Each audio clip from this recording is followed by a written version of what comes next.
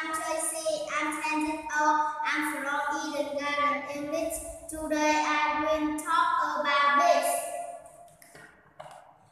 A big house,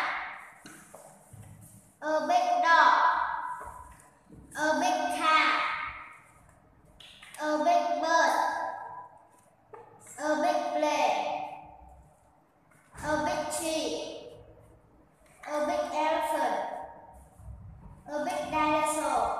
Gusmar.